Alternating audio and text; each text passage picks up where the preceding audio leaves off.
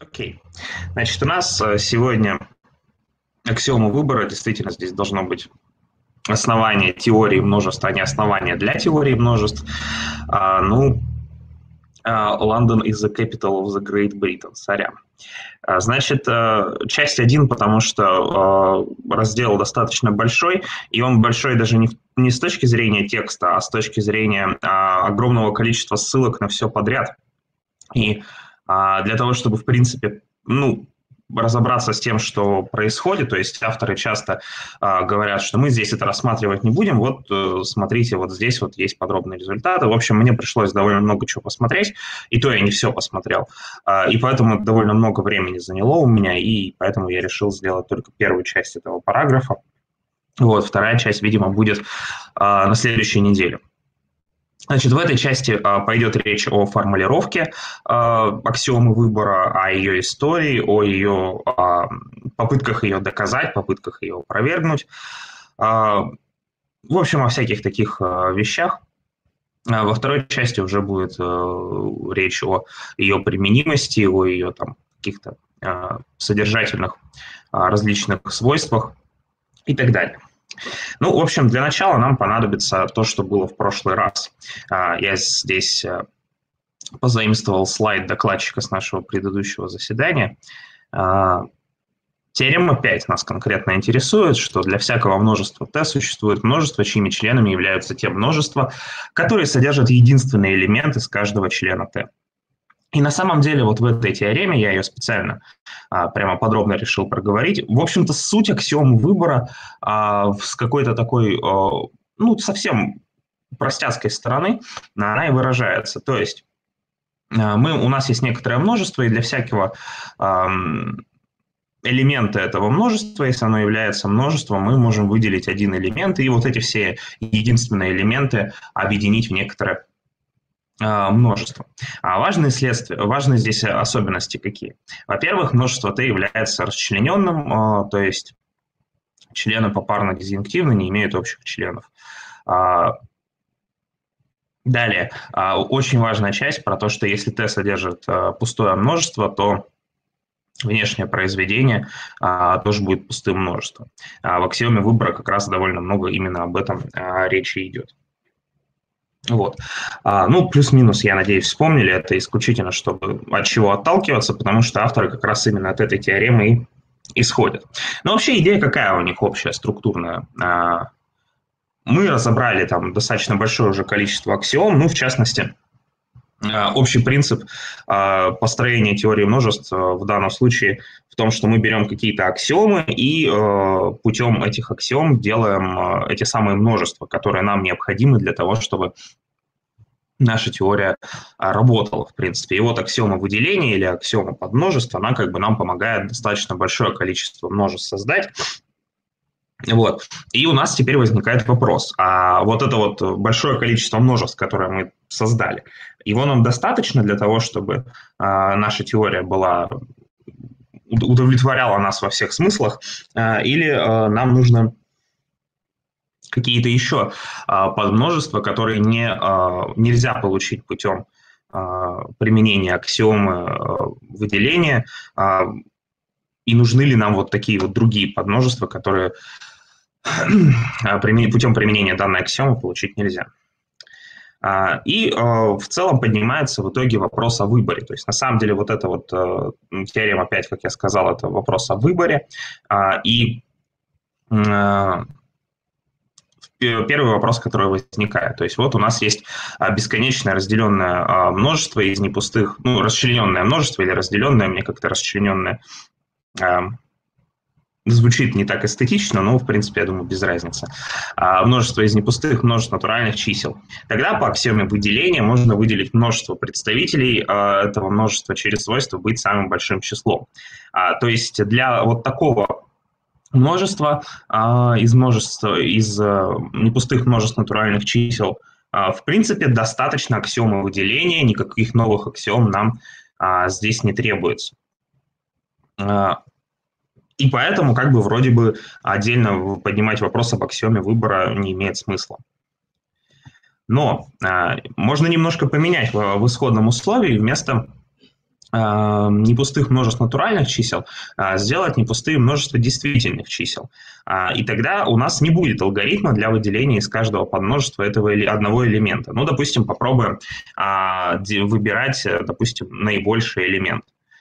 И в отношении натуральных чисел у нас получится применять этот алгоритм, а в отношении действительных чисел не получится. Значит, аксиомы выделения недостаточно для того, чтобы решить поставленную проблему. А, и казалось бы, ну нельзя и нельзя. Но, а, как авторы отмечают, и в принципе это с этим, я думаю, можно согласиться. Нам бы очень хотелось иметь э, аксиому э, выбора или вот этот вот самый алгоритм выбора э, с точки зрения наших каких-то интуитивных оснований.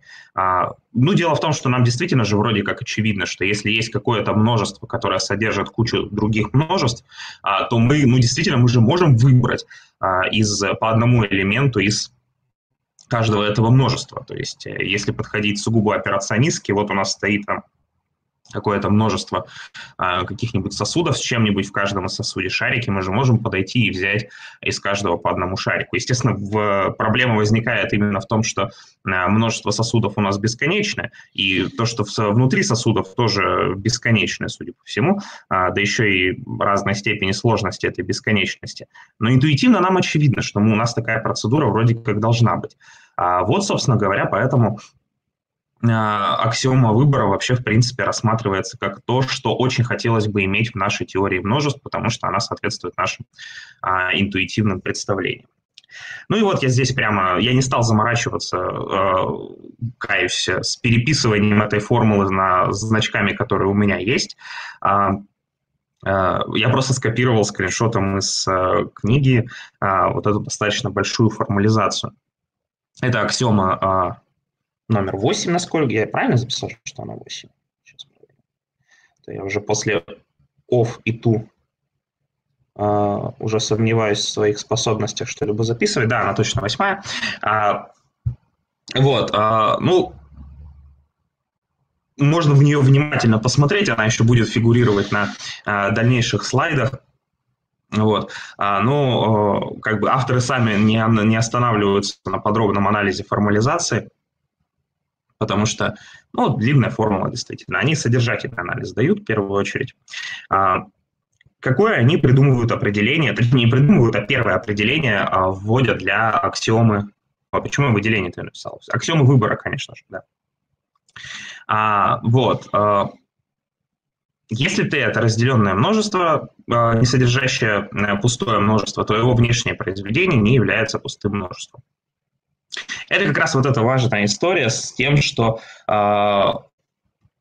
у нас будут большие проблемы с выбором, э, если э, внутри множества, в рамках которого мы выбираем, будет пустое множество, потому что тогда такую процедуру для выбора из каждого множества какого-то элемента произвести будет нельзя, потому что в пустом множестве ну, ничего и нет, собственно говоря. Вот. Здесь важно отметить, что такие параметры, как э, параметры понятия, как а, выбор и э, э, ну, связаны с этим вещи, почему вообще аксиома выбора это называется. А да, все восходит к Цермела, он еще в начале 20 века, собственно, насколько я помню, придумал эту ну, аксиому ее аналог. То есть здесь в прямом смысле имеется в виду э, некоторый выбор, что для всякого множества, которое находится в нашем вот этом вот целевом множестве, а, мы можем найти а, хотя бы один элемент и выбрать его буквально. И здесь, опять же, речь идет не о том, что мы как бы просто постулируем, что он как бы, ну, возможно, есть. А мы постулируем, что у нас есть вот эта самая конкретная процедура выбора для а, этого всякого элемента. А другое а, определение, которое тоже вводится, а, ну не определение, интерпретация, наверное. Если t это разделенное множество, не содержащее пустое множество, то его внешнее произведение не является а, пустым множеством. А, это вот первое было. А второе, среди подмножеств объединения Т есть хотя бы одно множество, чье пересечение с каждым членом Т является синглтоном. По сути, а, это ну, одни и те же вещи, это эквивалентные вещи. А, в книге приводятся достаточно подробные доказательства, особенно для а, последнего И можете там посмотреть, я их подробно записывать не стал, они достаточно длинные. Вот. Э, какое здесь есть следствие в связи с э, теоремой 5, которая там важная для нас оказалась? А, внешнее произведение членов разделенного множества t есть пустое множество, если и только если t содержит пустое множество. Ну, то есть, опять же, вот про э, эти самые пустые множества здесь а, идет речь. А, вот. Ну и еще альтернативный тоже способ определять аксиому выбора – а, для всякого разделенного множества t, в котором не содержится пустое множество, существует функция f, хотя бы одна, что для каждого члена S множества t, а, f от S – это член S. Ну, то есть а, просто функция, опять же, в прямом смысле выбора для каждого элемента множества какого-то элемента этого множества. Вот. Другая такая версия, которая тоже, ну, как авторы отмечают, что она полезнее, хотя э, они не объяснили, почему она полезнее, и я, если честно, ну, посмотрев то, куда они ссылаются, э, тоже не очень понял, почему она полезнее, ну, тем не менее. А, практически то же самое, то есть для всякого разделенного множества t, в котором не содержится пустое множество, существует функция f, хотя бы одна, что для каждого члена s множества t, f от s принадлежит s. А, вот это, насколько я понял, вот именно это определение, оно ну, одно из самых каноничных, потому что, ну, вообще у нас э, там где-то 5 или 6 определений в книге представлены, есть э, еще а, много разных, а, которые, ну, также, судя по всему, а, в зависимости от разной аксиоматики, они а, то эквивалентны, то не эквивалентны этим. Ну, вот это вот, который подход в книге представлены. А, в рамках этого подхода и а, предлагается работать. А, вот, это, так скажем, формальная часть. Вот так вот она, это аксиома выбора, а не выделения, она, соответственно, формулируется в рамках формулируется в рамках подходов книги. Вот, теперь немного об истории аксиома выбора. Значит, я уже это все выносить на слайды не стал, потому что это, ну, история, потому что на самом деле она, ну, в прямом смысле история, то есть э, тут э, просто перечисление идет каких-то более-менее основных фактов. А, ну, как отмечается, что, наверное, а, первая, какая, первая какая-то аллюзия к э, аксиоме выбора была а, представлена у Пиано. Он там говорит о том, что, ну, переводя уже на аксиоматический язык, что а, невозможность а, предположить существование множества представителей множества t, так как она представлена ну, вот в нашей аксиоме, мы, мы предполагаем конструирование некоторого объединения t через аксиому подмножества. Вот. Дальше как бы а, упоминается о том, что а, у Леви а, была тоже ну, такая как бы схожая история. Ну, а в первую таким основным, скажем так, основателем и изобретателем аксиомы выбора является Сермело, по мнению. Ну, не по мнению, судя по всему, это общепризнанная точка зрения. И связывают это с теоремой Сермела вполне упорядоченных множествах. То есть на самом деле так, а, насколько я понял, а, что а, на самом деле аксиома выбора предполагает, что мы можем вполне упорядочивать, множество, ну, так, в, скажем так, в первом приближении, а вполне упорядочивание множеств, оно как бы предполагает наличие аксиомы выбора. Вот, ну, у них там скажем так, Цермела не сразу сформулировал похожую э, такую развернутую идею, там чуть позже в Рассел, соответственно, ему ну, развивал, развил эту идею, вот. Ну и, соответственно, с тех пор Цермела потом в ответ, ну, как бы типа как в ответ Расселу уже сформулировал ее в современном виде. Ну и, соответственно, возник целый ворох проблем, связанный с этой аксиомой. А в первую очередь, первая проблема с любой аксиомой, в принципе, которые возникают, это проблема эм, непротиворечивости ее, то есть, ну, хотелось бы, чтобы аксиома не вела к каким-то противоречиям в рамках нашей теории. И а, вторая проблема, она связана с независимостью данной аксиомы, то есть а, аксиома должна а, не должна следовать из других аксиом. Если она следует из других аксиом, а, то она попросту а, является теоремой. Так, сейчас один момент. Так.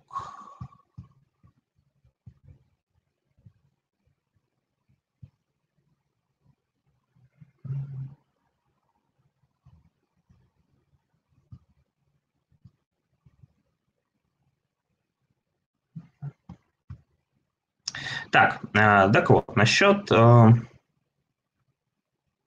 насчет... Сначала в, речь пойдет о э, непротиворечивости. А, ну, говоря о непротиворечивости чего бы то ни было, аксиомы или еще или каких-то других вещей, трудно уйти от результата Гёделя о непротиворечивости самих теорий. И у нас э, здесь возникает такая а, забавная развилка. То есть у нас есть э, система ZF, э, то есть без аксиом выбора пока. А, и у нас есть вопрос, является она а, непротиворечивой или нет. Потому что если она является противоречивой, то в этом случае аксиома выбора э, сама по себе может сразу тоже оказаться э, и доказываемой, и опровергаемой. А, ну, что будет означать опять же, что как бы, а смысл вообще этим заниматься. А, по теореме Гёделя для того, чтобы доказать непротиворечивость ZF, нам нужна какая-то другая теория, более сильная, мощная теория. И поэтому авторы предлагают, что а давайте мы просто будем а, вот те результаты и те рассуждения, которые а, здесь представлены в отношении непротиворечивости данной аксиомы, а, мы просто будем их а, записывать в, а, ну, скажем так, с предположением, что ZF не противоречива. То есть мы просто, ну, это лучше, мы будем предполагать, что она не противоречива, ну и как бы а, нормально все будет. Ну вот, небольшая история представляю, то есть как пытались доказывать а, независимость там, и непротиворечивость. В 22 году Френкель а, доказал независимость аксиомы выбора, а, но он это сделал не для ZF, а для аксиоматической системы теории множеств, а, которая признает бесконечное количество объектов, а, которые не являются множествами, а, так называемых индивидов. Очевидно, что данная аксиоматическая система расходится а, достаточно серьезно с а, аксиоматической системой а, ZF, потому что в ZF у нас а, есть только одно пустое множество, условно говоря. А, это а, единственный объект, который не содержит элементов. А вот в подходе Френкеля там было бесконечное множество индивидов, то есть объектов, которые сами по себе не содержат элементы. Отмечается, что Френкель использовал э, метод теории групп, э, и э, в математические и технические э, особенности э, здесь авторы особо э, не погружаются. Вот. В, в общем-то, они отмечают, что Основной, на самом деле, а, основной проблемой подхода а, Френкеля а, и Мостовский, который тоже там развивал такую же идею, является даже не то, что аксиоматические системы разные, которые использовались, вот, а то, что в итоге этот метод вообще не проливает никакого света на то, является ли аксиома выбора а, необходимой для того, чтобы а, у нас была функция выбора для некоторого множества t а, множество действительных чисел а, или множество множества действительных чисел и так далее. То есть а, технич, технические результаты, повторюсь, были опущены, но вот в качестве вывода, во-первых, методологическая проблема, но основная, основная даже не она, а то, что в итоге все-таки не совсем понятно, нужна ли нам эта аксиома выбора. Ну и вот в 1938 году, насколько я понимаю, это основ, основной признанный всеми результат – во всяком случае, до определенного момента был, а, Гёдель доказал а, непротиворечивость аксиомы выбора. А он сделал это через введение э, понятия конструктивных множеств э, и вообще как бы вот через, эту, через этот самый процесс, процесс конструирования и так далее. Некоторая ирония здесь, и авторы тоже это отмечают, в том, что на самом деле, несмотря на название, этот процесс э, и вот эта идея Гёделя ничего общего с конструктивизмом э, не имеет. Э, хотя э, некое конструирование предполагается, но смысл его не в этом. Если обобщать, насколько я понимаю, идея Гёделя в том, что всякое множество, если оно конструктивно, оно должно, должно быть понятно, э, что оно э, сделано, составлено из э, других множеств. А, более, там, условно говоря, мелкого уровня. А, ну, то есть а, всякое множество у нас состоит из каких-то других множеств, вот, ну, там, вплоть до пустого множества, которое есть, видимо, везде. А, вот. Ну, опять же, здесь авторы опускают какие-то а, замудренные а, математические, технические подробности. Они просто отмечают, что вот именно за счет того, что мы как бы каждое множество является конструктивным, если абсолютно все множества, точнее, в нашей теории являются конструктивными, в этом идея Гёделя как раз, то аксиома выбора э, не противоречива, она работает э, для всех таких множеств, э, ну, просто потому что для конструктивных множеств она работает в принципе. Вот, без каких-либо особых проблем, возникающих здесь. Более того, там дальше через введение а, аксиомы конструктивности Гёдель добавил к Z, к ZF аксиому конструктивности, получил ZFC с плюсом, как она здесь отмечена, а, и ZFC с плюсом доказывает, что ZF э, не противоречиво, ну, прям по сами, самому подходу Гёделя, то есть ZFC а, с плюсиком, она а, более сильная теория, и, соответственно, она может доказать непротиворечивость ZF.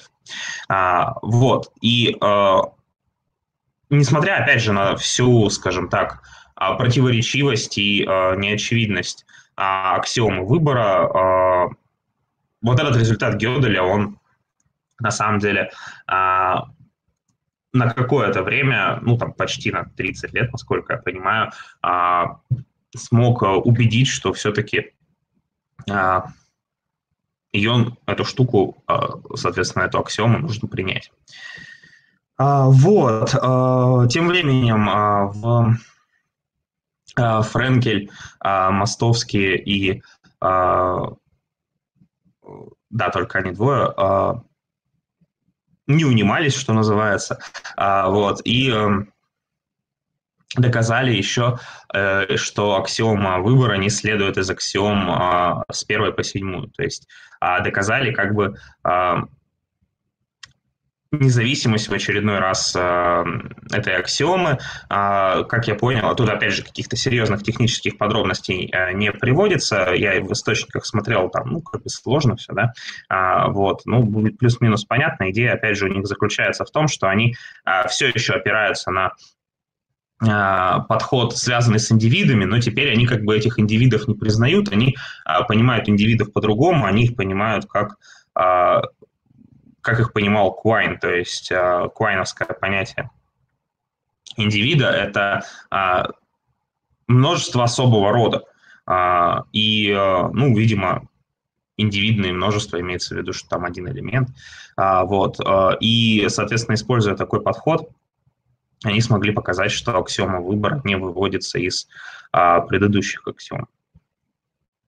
Вот. Но на самом деле а, проблема независимости аксиомы выбора а, и а, оказалась намного более серьезной проблемой, когда оказалась более серьезной проблемой, там с ней очень много было еще нюансов, то есть подход а, Френкеля и Москву, мостовский далеко не всех удовлетворил, там с действительными числами были проблемы. А, и, э, в общем, держалась эта проблема до 1963 года, когда а, появился Пол Коэн и, собственно говоря, решил ее окончательно и бесповоротно. Но решил он не только это, он также доказал, что а, аксиома выбора является неразрешимой. А, сделал он это, показав, что а, на самом деле множество, гёделевское множество конструктивных множеств, оно не исчерпывает множество вообще всех множеств, которые только есть в рамках теории. То есть на самом деле есть множество, которые не являются конструктивными. Это значит, что не для всех множество работает аксиома выбора, и, в общем, аксиома выбора неразрешима принципиально.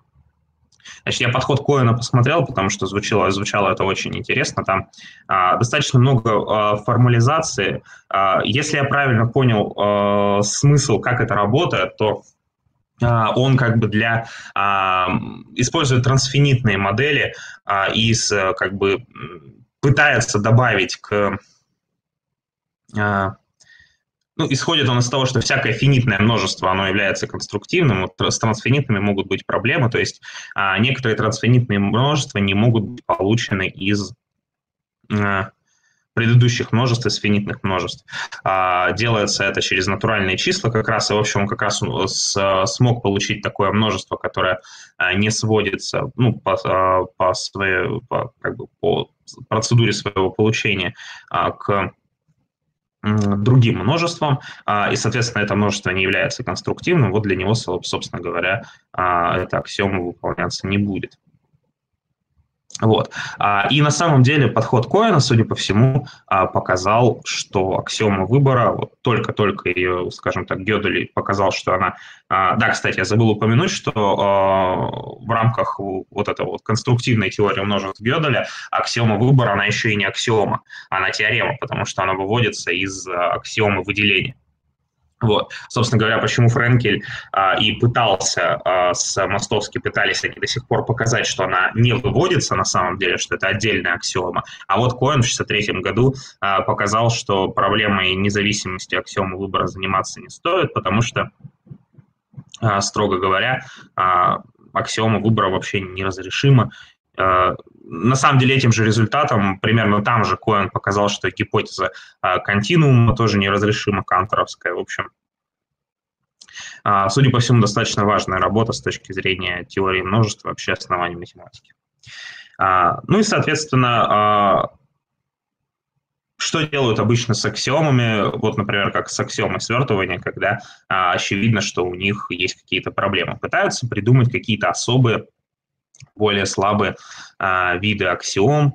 А, и а, в параграфе 3 авторы как раз а, хотят рассмотреть а, несколько а, более слабых версий а, и посмотреть, может быть, более слабые версии могут выжить в рамках а, а, ZF. Вот. Ну, они так уже, скажем так, заранее говорят, что, судя по всему, даже более слабые версии э, нормально не доказываются э, из аксиом ZF. А, вот. Значит, какие это есть более, какие есть более слабые версии? А, ну, а, одна из основных стратегий вводить более слабые версии, аксиомы, а, как отвечают авторы, опирается на ограничения на кардинальные, кардинальности. То есть э, мы будем ограничивать в, каком-то, в какой-то мере а, количество элементов множеств, которые, могут, э, которые мы можем подставлять в аксиому выбора. А, ну, самый простой подход а, ограничить э, просто кардинальность множество t, ну вот, которое мы, собственно говоря, подставляем. То есть а, у нас будет, а, что для всякого конечного множества t, а, для всякого конечного множества t мы можем, соответственно говоря, найти такое множество, которое будет содержать по одному элементу из всякого подмножества t. И Вроде бы, конечно, хорошая идея, и так оно вроде даже работает, но отмечается, что в данном случае аксиома становится избыточной, а, потому что оно легко доказывается. А, если, ну, по сути говоря, это теорема, опять же, получается.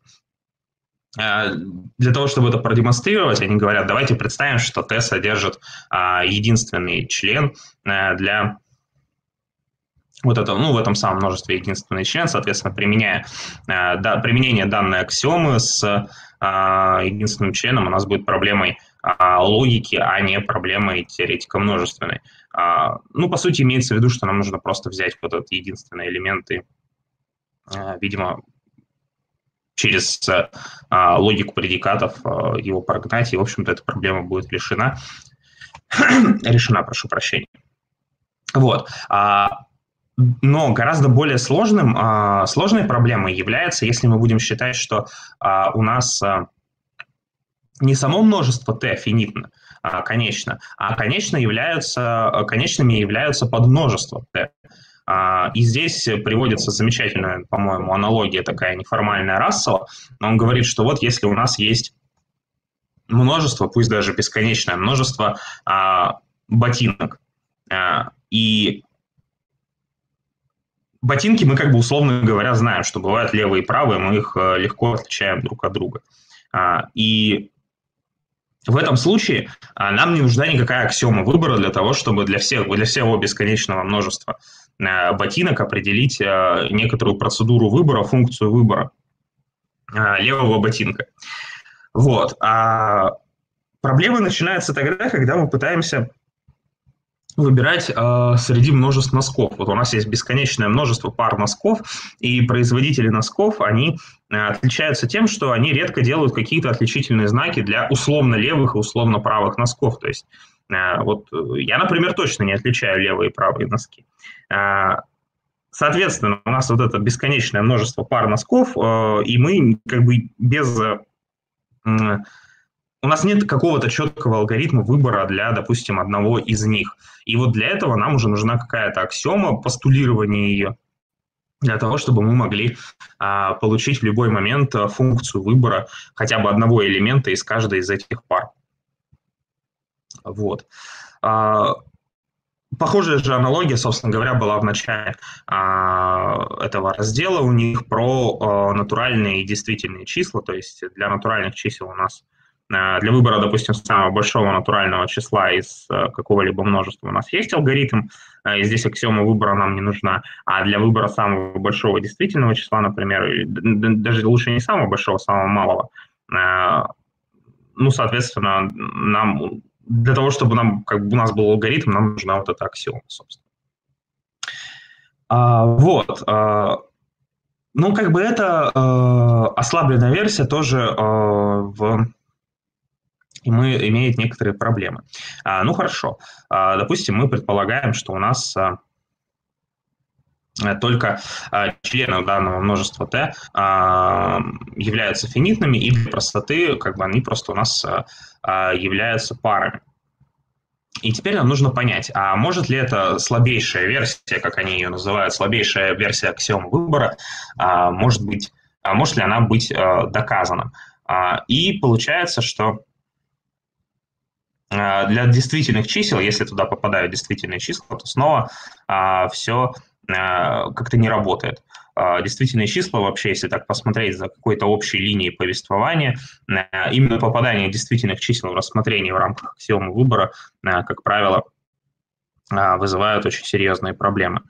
А, и а, с действительными числами проблема. А если рассмотреть, допустим, а, ту аналогию, которая была в начале параграфа, представлена не аналогию, а прямое э, сопоставление а, аксиомы выбора со вполне упорядоченностью. То есть на самом деле э, предполагается, что вот эти вот пары действительных чисел а, в рамках нашей слабейшей версии аксиомы выбора, они должны упорядочивать э, ряд действительных чисел. Ну, как утверждают авторы, он этого, эта аксиома этого не делает, даже в слабейшей версии, значит, здесь опять какие-то какая-то беда продолжается.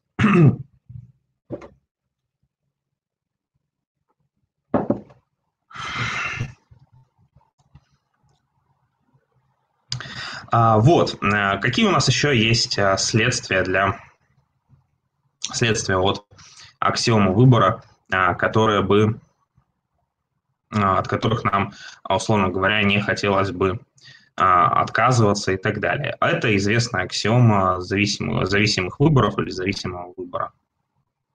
Я так понимаю, что это ну, такая своеобразная, ну не ослабленная версия аксиомы выбора, а она какая-то более э, такая, что ли, строго формальная. Ну, не знаю, как метафорично это писать, да и не, не надо, наверное. Вот, а о чем она говорит?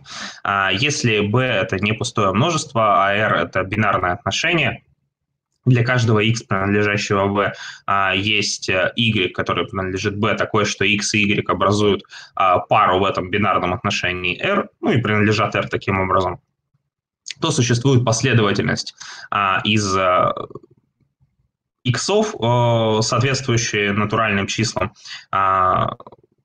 ну, которые, соответственно говоря, попадают под это отношение. А, то есть а, здесь речь идет о какой-то последовательности выбора. Вот. А, и утверждается, что это аксиома, а, аксиома зависимых выборов влечет аксиому выбора для а, счетного множества.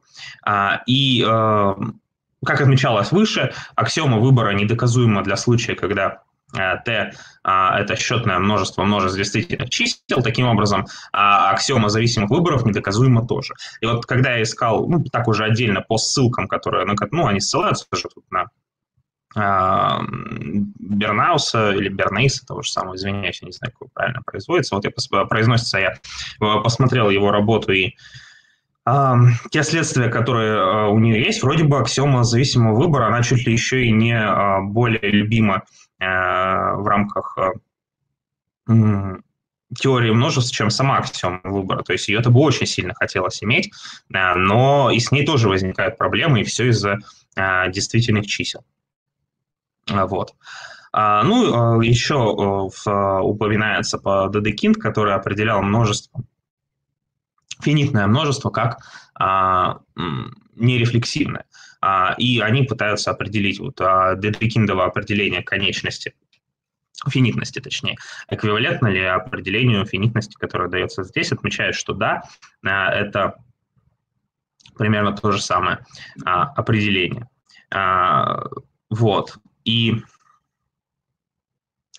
опять же возникает проблема с тем, что э, в ЗФ невозможно доказать, что всякое бесконечное множество действительных чисел включает э, счетное подмножество. Бесконечное множество действительных чисел, вот у нас есть какое-то, хоть множество всех действительных чисел, а, и мы не можем доказать, что в нем есть хоть одно счетное подмножество. Это, а, ну, короче говоря, проблема очередная.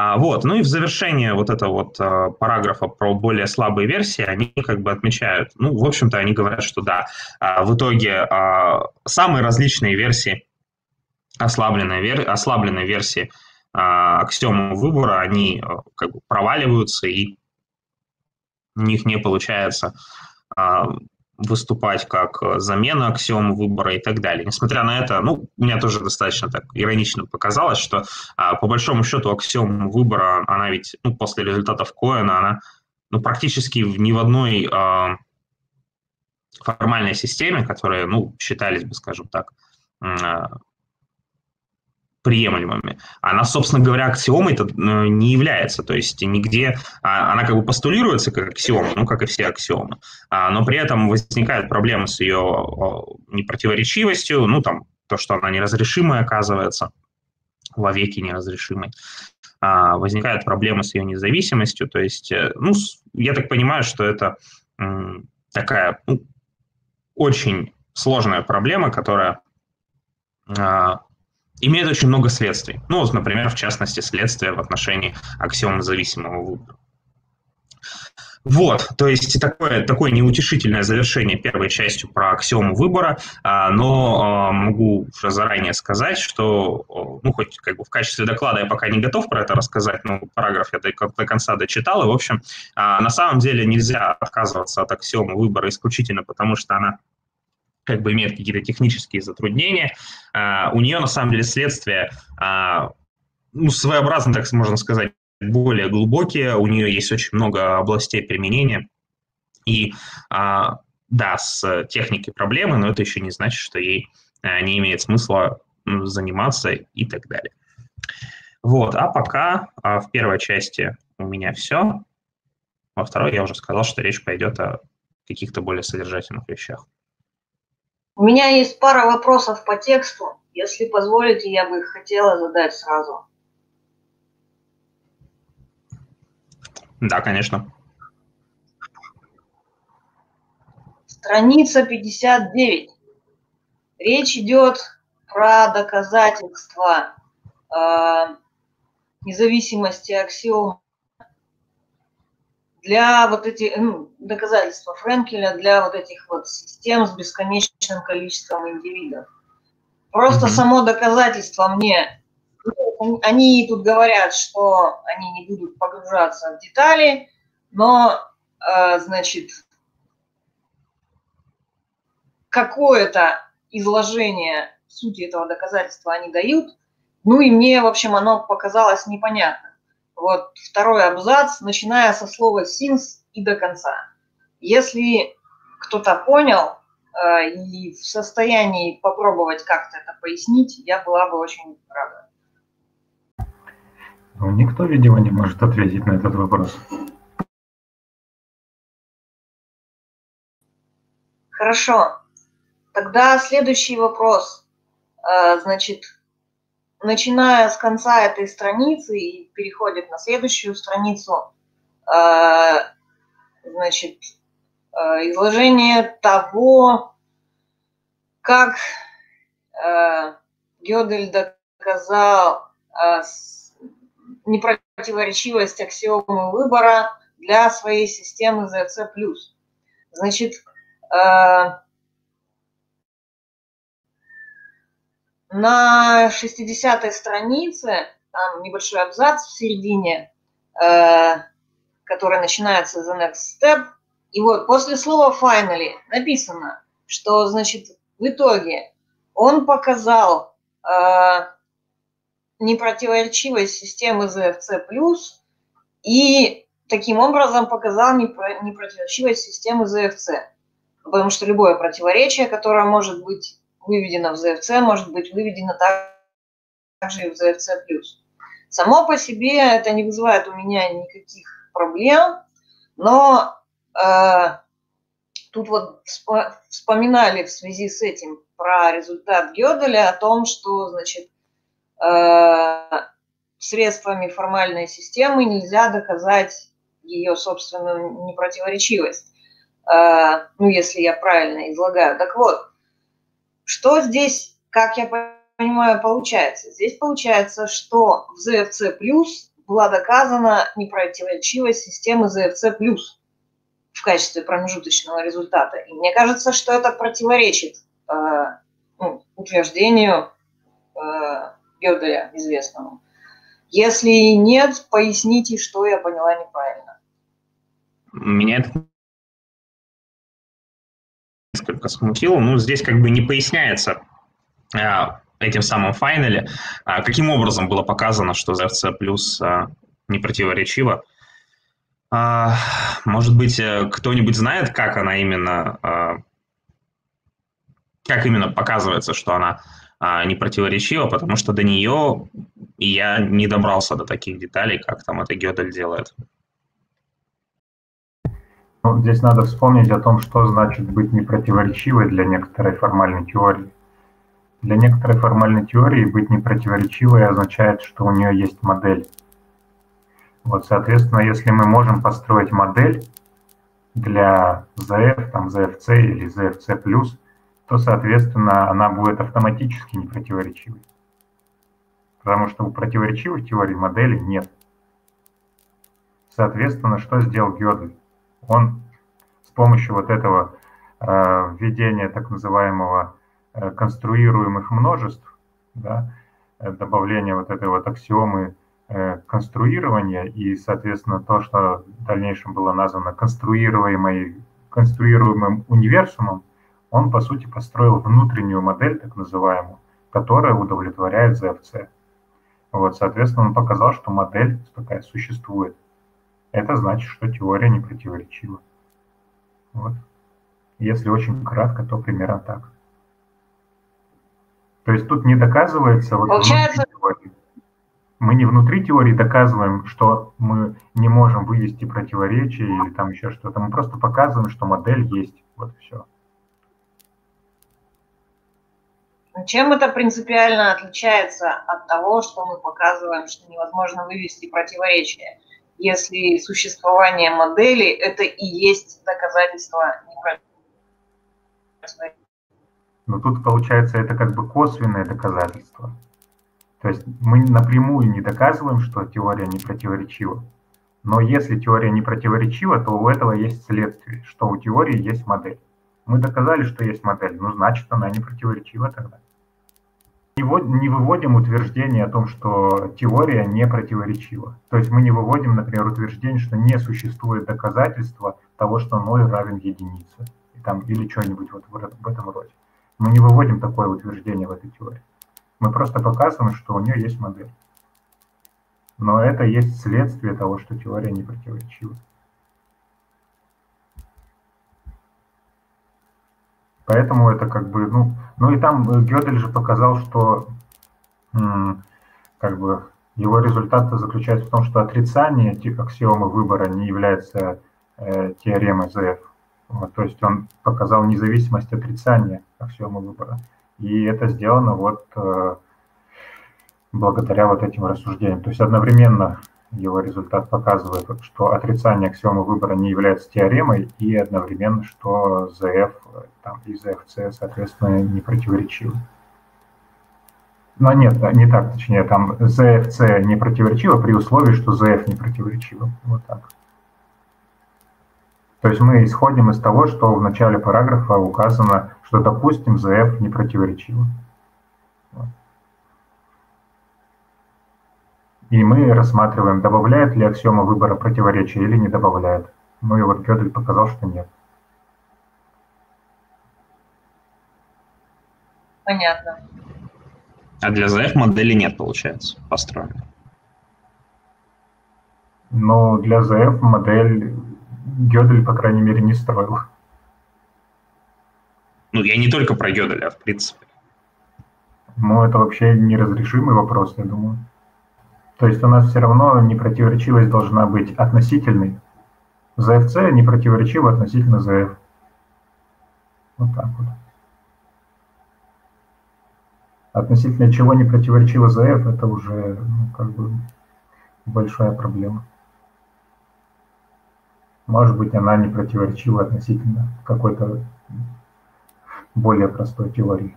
Мы не знаем допустим, будет доказано, что мы можем с помощью арифметики теорию может выразить. Конечно, в это сложно поверить, но допустим, такое случилось. А у нас есть как бы такая естественная убежденность в арифметике. Да? То есть мы докажем непротиворечивость ZF через непротиворечивость арифметики, а непротиворечивость арифметики обосновывается нашей интуицией, нашим опытом. Ну, понятно. А, и то есть э, в итоге результат Коэна заключается в том, что он применил тот самый форсинг по отношению к модели Гёделя и ввел туда неконструктивное множество, правильно я понимаю? И тогда там перестало все работать.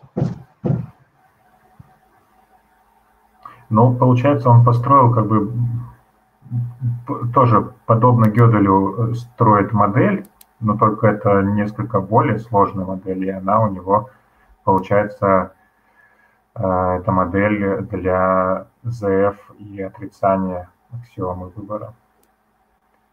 Вот.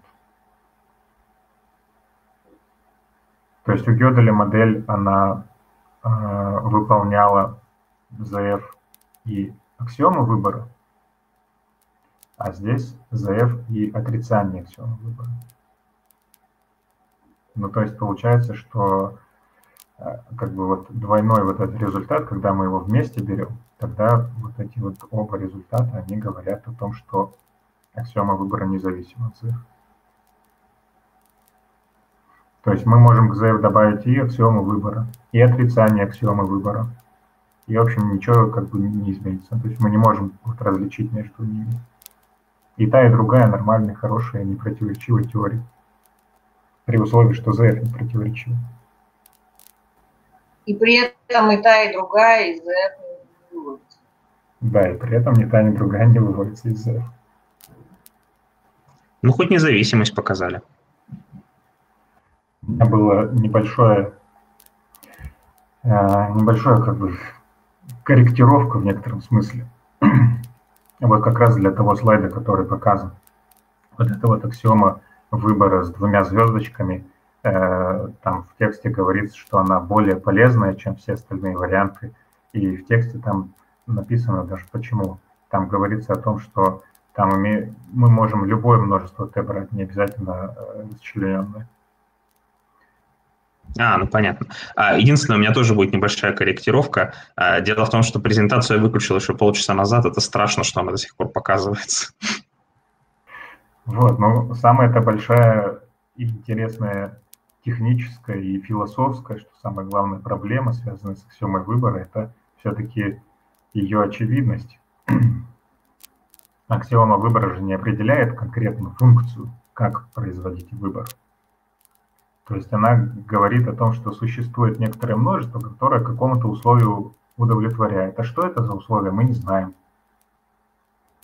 Как можно считать эту аксиому очевидной в этом случае? Не, подожди, я так понял, что аксиома выбора, ну да, она не говорит, что она конкретную функцию определяет. Она говорит о том, что эта функция в принципе есть какая-то, а мы не знаем, какая она. Ну да, Потому следующий что... подпараграф об этом как раз. Угу, да-да-да. То есть э, она не просто говорит о том, что у множеств есть элементы. Она говорит о том, что, допустим, мы берем дизъюнктивные множества. Соответственно, их э, внешнее произведение будет не пустым. Вот. Это следствие аксиомы выбора что внешнее произведение дизъюнктивного множества является не пустым, если оно не содержит пустого множества в качестве элемента.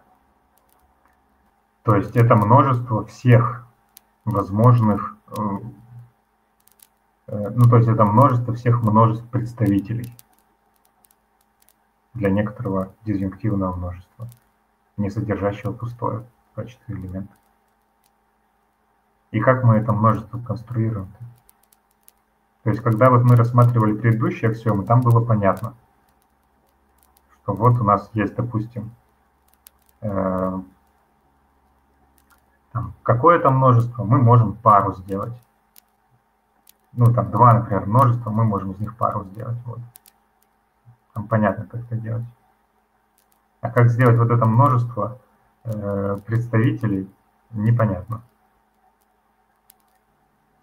Мне представляется, что по смыслу аксиома выбора является в некотором роде обратной по отношению к аксиоме замещения, которую мы разбирали в прошлый раз.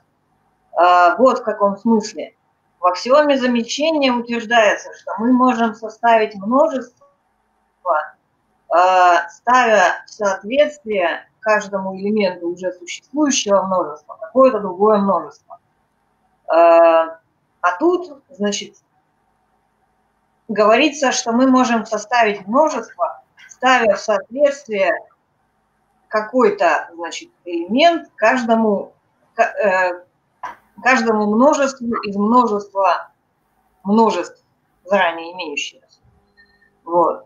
И, ну, у меня как-то мне представляется, что если аксиома замещения мы можем считать ее интуитивно убедительной, очевидной, то и с аксиомой выбора никаких проблем быть не должно с очевидностью.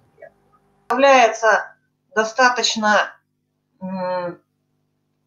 достаточно характерным тот факт, что э, именно первоначальная, как бы каноническая формулировка аксиомы выбора включает, э, то есть там упоминается именно расчлененное множество, хотя потом доказывается, что э, ну, эквивалентное, э, формулировка может, то есть формулировка, в которой этот признак расчлененности опущен, она эквивалентна, то есть она доказывается из канонической формулировки, но при этом именно за аксиому, то есть за интуитивно очевидную, берется формулировка с этим признаком. А, ну, потому что она действительно, то есть а, именно она как-то не вызывает вопросов. То есть если множество, а, из которых мы выбираем по одному представителю, ну, не имеют общих элементов, то тогда какую бы мы ни использовали функцию выбора, никаких нарушений возникнуть не должно. Ну просто как они возникнут, э, если, если каждый элемент, который мы можем выбрать, вне зависимости от того, какую функцию мы используем, каждый элемент каждого множества встречается только в этом множестве и больше нигде. Вот интересно, а работает ли аксиома выбора, если мы допускаем индивидов э, и бесконечное количество индивидов, которые не являются множествами? Ведь э, не факт, что мы должны осознавать каждый индивид как множество. Можно строить альтернативные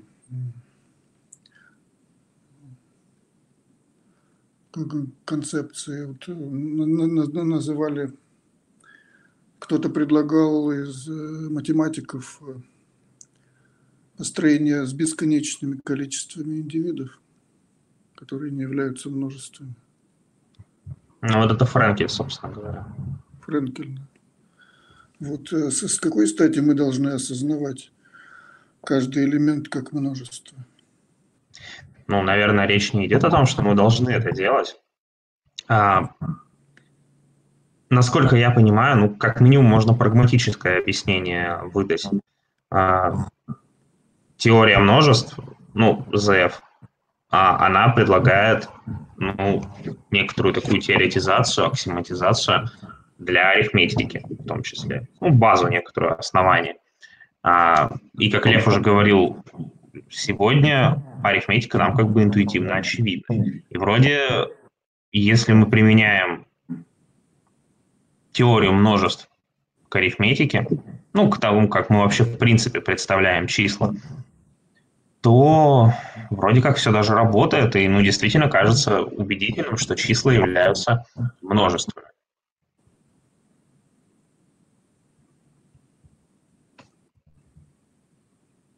А если у нас есть бесконечное число индивидов, которые не являются множествами, то как бы возникает проблема тогда с тем, что это такое, потому что, ну, множество – это вот, ну, как выражение чисел, да.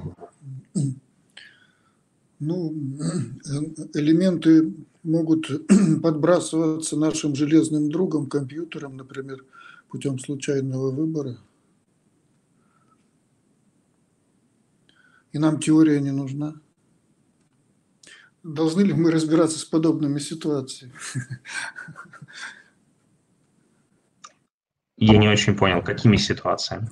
А, когда мы не осознаем элемент как множество, когда мы отходим от теории чисел, а, просто э, у нас есть компьютер, который ну, бросает игральные кости, выдает что-то в качестве индивидов, которые порождают некоторую совокупность, которую можно и называть множеством, а можно и не называть множеством, так как имеется бесконечное число индивидов, которые, в общем-то, никем не осознаются как множество.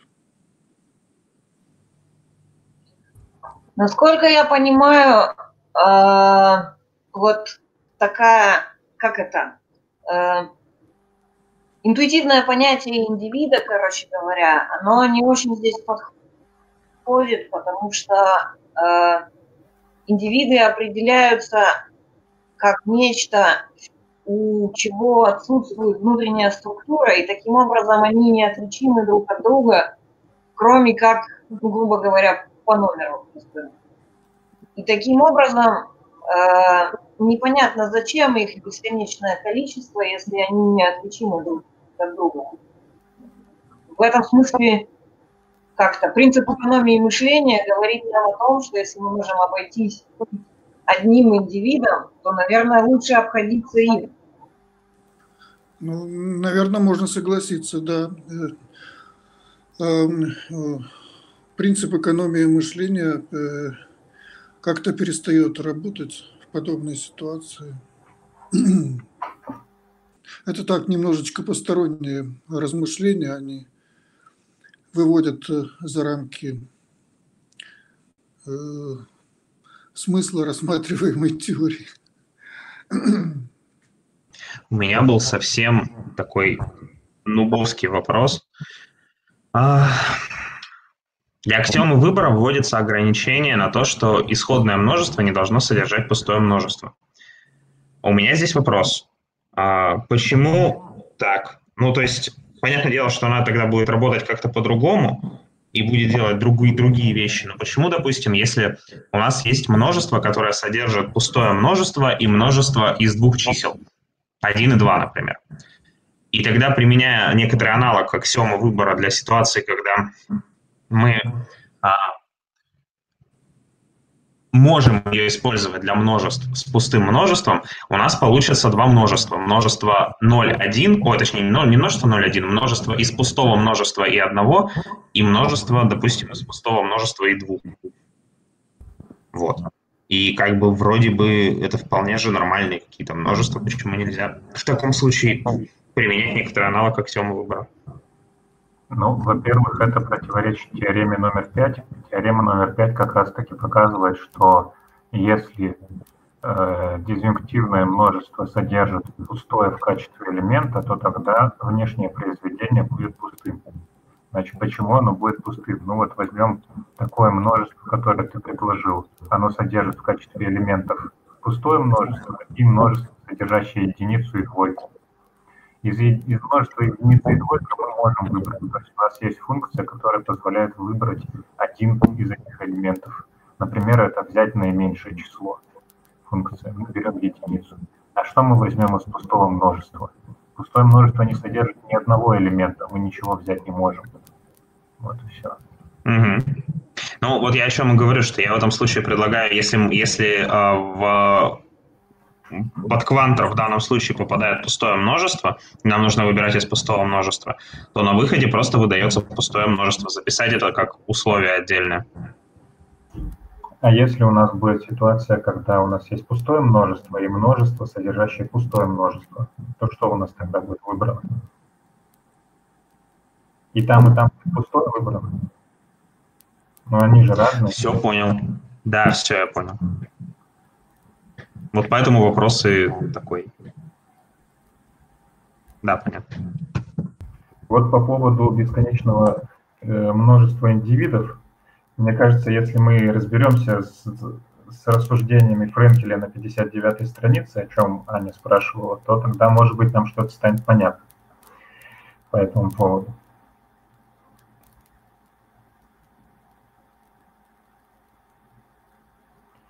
Вот мне в этом э, рассуждении остается неясным следующий момент. Ну, по крайней мере, он точно мне непонятен. Насчет остальных я, может быть, сомневаюсь. Эм, мне здесь непонятно предложение, которое начинается с ЗАС. Вот там говорится о том, таким образом можно допустить без э, получения какого-либо противоречия что имеется бесконечное множество i индивидов и в то же время, что всякое множество связано э, тем же самым способом со всеми индивидами, за исключением их конечного числа.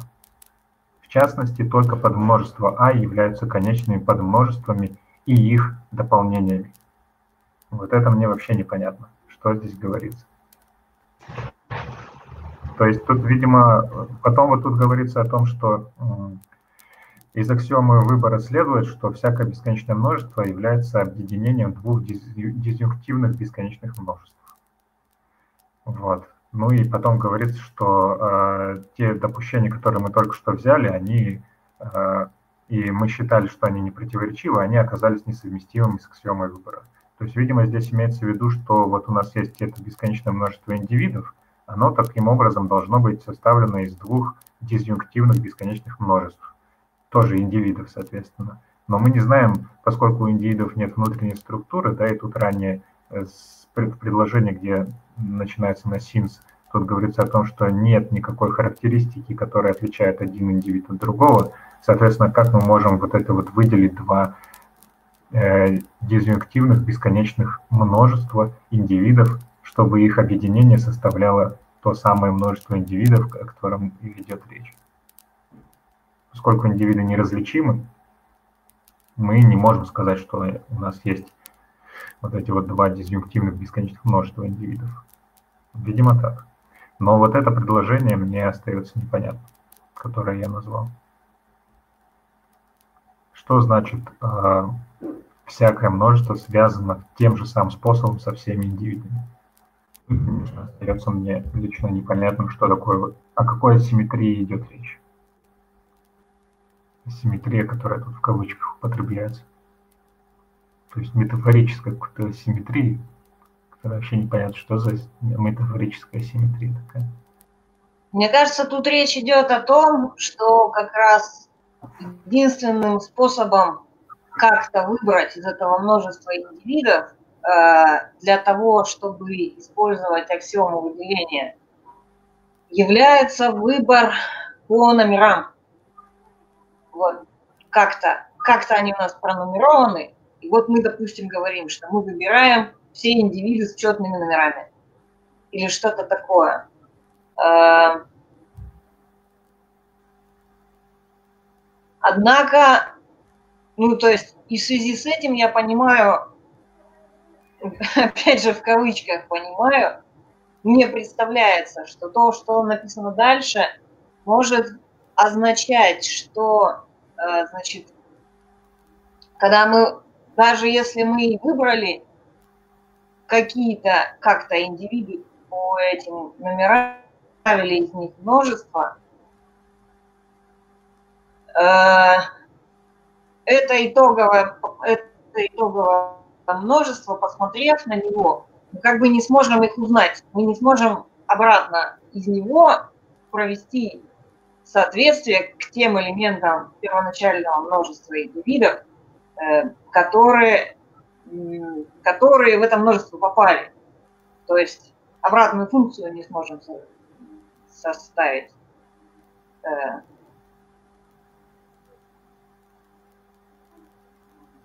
И это что-то там доказывает. Ну, не знаю, имеет ли то, что я сказала, какое-то отношение к действительности.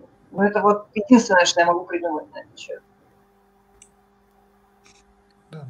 А идея, мне кажется, интересная. Но что такое номер? Ну, что он выступает. здесь, видимо, имеется в виду, что э, какой-то индивид выступает в качестве значения для параметра с некоторым номером. Ну, тут имеется в виду аксиома свертывания, и там перед ней кванторы общности по переменным z1, zn в полной версии записаны. Вот, соответственно, э, там, то, что является значением для z1, это первый индивид. То, что значением для z2, это второй индивид и так далее. Возможно, так.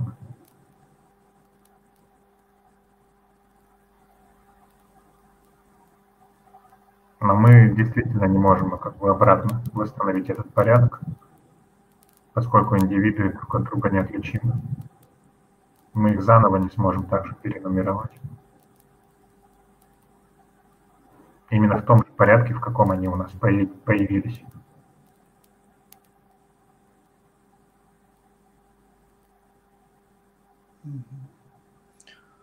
А появляться они могут с помощью генератора случайных чисел. Ну да, например, так.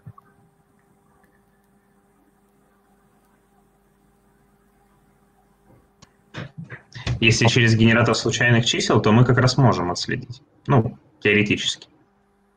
У нас будет правильный генератор. True. Понятно. Рандомный генератор. То есть не псевдо случайных чисел а настоящих случайных чисел. И в подобном случае, наверное, мы забудем теорию множеств займемся теорией нумерации. И она будет содержать проблемы, аналогичные тем, что мы встречали в теории множеств. А как обстоит дело в конструктивизме с аксиомой выбора? Я немножко посмотрел, ну, я так понимаю, что там она может быть сохранена, просто там вводится дополнительное условие, что для функции, которая получается, ну, предполагается аксиомой выбора, предполагается также, что у нас есть некоторая информация о том, что э, выбираемый элемент действительно принадлежит э, определенному множеству но я не совсем понял, как это работает. Ну, поскольку конструктивизмов разных э, существует некоторое количество вариантов, в разных версиях по-разному к этому относятся. Есть конструктивизм, который отрицает аксиому выбора, есть конструктивистский подход, где аксиома выбора все-таки сохраняется. Ну, и разные авторы, соответственно, по-разному обосновывают почему ее надо сохранить и как она связана. Это тема, этому посвящены целые толстые книги в больших количествах опубликованные. Ну, потому что там вот у нас получается, вообще у нас как бы интересные ситуации есть, что аксиома выбора в некоторых вариантах. Если мы ее признаем, то она... Э, ну вот у нас есть какая-то конструктивная теория, что для некоторых конструктивных теорий, если мы аксиомы выбора добавляем, то тогда у нас получается закон исключенного третьего вводится. А, соответственно, для конструктивизма это плохо. А, а в некоторых других конструктивных теориях, если мы аксиомы выбора добавляем, у нас не выводится закон исключенного третьего. И это хорошо. То есть тут зависит от того, что у нас является базовой теорией, и зависит от того, как мы понимаем вообще вот этот выбор.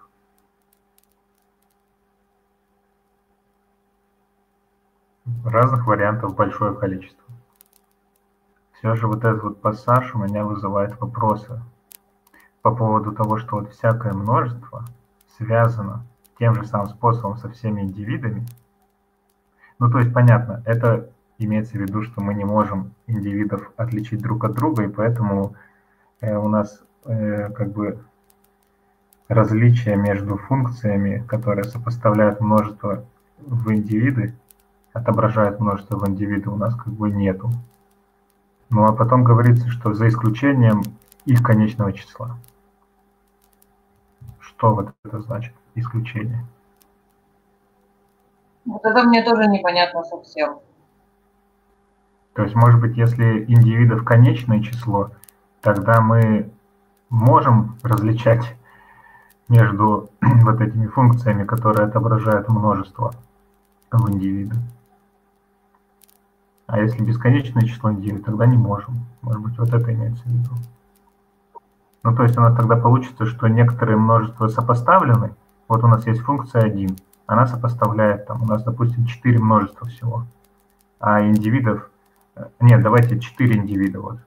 Она первое множество сопоставляет первому индивиду, второе там, второму, третье, третье, четвертое, четвертому. И какие-то остальные множества у нас остаются, которые не сопоставлены никаким индивидом. А следующая функция, она сопоставляет, допустим, э, пятое, шестое, седьмое, восьмое множество этим индивидам. Соответственно, мы различаем по множествам эти функции. Ну, по аргументам. Хотя значения в них будут одинаковые, наверное. Раз мы не можем индивиды отличить друг от друга. Непонятно. Ну вот у нас есть... Э, конечное число повтори. Ну вот, допустим, у нас есть, значит, какие-то функции, а, что они собой представляют? Это отображение множеств. Это отображение множества множеств в множество индивидов, которых конечное число. То есть множеств у нас может быть хоть сколько, а индивидов у нас, допустим, три. Вот, давай так сделаем. Соответственно, у нас есть функция, которая, там, не знаю, пустое множество, множество там синглитон из пустого и множество, которое содержит в себе пустое и синглитон из пустого, сопоставляет каким-то трем индивидам, вот этим вот нашим. Без разницы как. У нас есть другая функция, которая берет сначала, например, уже теперь не пустое множество, а синглитон и множество из пустого и синглитона, а, например, берет там э, для начала э, множество, содержащее там, ну, допустим, 10 каких-то элементов неважно, как они там сделаны, и сопоставляет какому-то индивиду из наших трех. Потом берет следующее множество из 20 элементов и сопоставляет какому-то из этих индивидов. Потом из 30 и сопоставляет. А это же разные функции. У них э, как бы аргументы-то разные, они определены для разных объектов. Значения одинаковые, да но получается домены у них. Да, разные. это так. И поэтому как раз непонятно, поэтому как раз непонятно, почему вот эта ситуация с конечным числом а,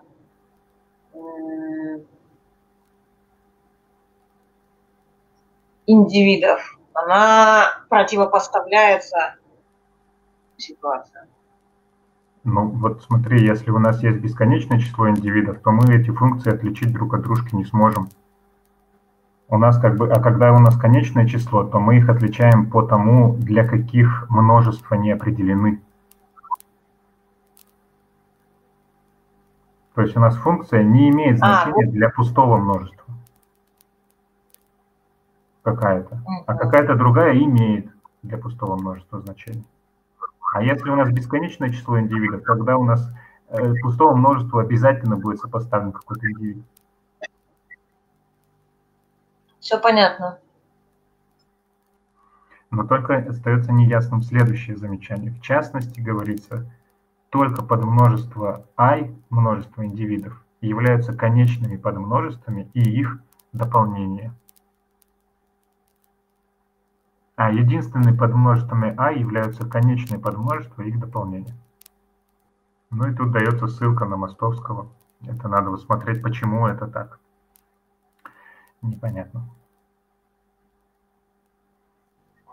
Ну, видимо, имеется в виду, что вот, э, если мы хотим задать функцию, которая бы из этого множества i э, выбирала бы какие-то индивиды и объединяла бы их в подмножество, то тогда единственным осмысленным способом, каким мы можем задать эту функцию, это вот как раз, э, значит, сделать ее, а, сделать, э, ну, сделать это под множество конечным, и, соответственно, сделать область ее определения конечной. А,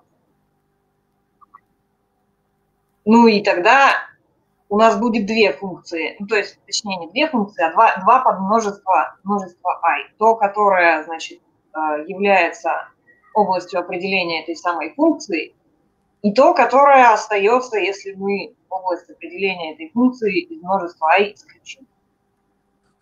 А, а что мы должны рассматривать в качестве дополнений для конечных множеств? Ну, все, что не входит в них. Ну, это будут бесконечные множества? Но если у нас изначальное бесконечное, мы выделили конечное подмножество, то тогда дополнение, видимо, должно быть бесконечным. Но вот это плохо. Если бы были только конечные, то все проблемы разрешимы. Не знаю. С этой точки зрения рассуждение вроде бы выглядит более-менее понятно. Потому что дальше написано, что значит, Э, это утверждение, что единственным способом выделить подмножество из множества i является э, значит, выделения конечного подмножества и его дополнения э, противоречит следствию из аксиомы выбора, что любое бесконечное множество является, ну, в общем, представляет э, собой объединение двух дисъюнктивных бесконечных подмножеств. То есть у нас должны быть оба бесконечные, а получилось одно конечное, одно бесконечное. И это означает, что значит, без аксиомы выбора нам обойтись нельзя.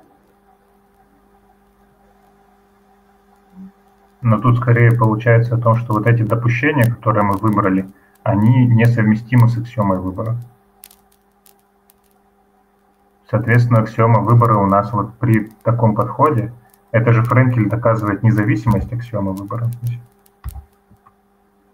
Вот, то есть ну, аксиома да. выбора у нас не следует, если мы вот из этих допущений э, исходим. Но это не значит, что она нам обязательно нужна. Просто э, следствие, да, что она невыводима. Да, да, да. Так точнее. Ну, конечно, было бы неплохо обходиться с конечными только множествами, но если у нас только конечное множество, тогда у нас действительно чисел нету. Вот. С этим мало кто будет э, согласен.